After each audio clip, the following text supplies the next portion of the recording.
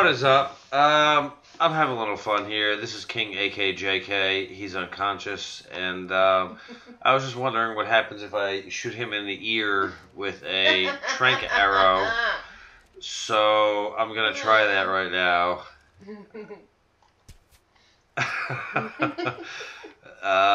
um, yeah, dude's got a arrow coming out of his ear.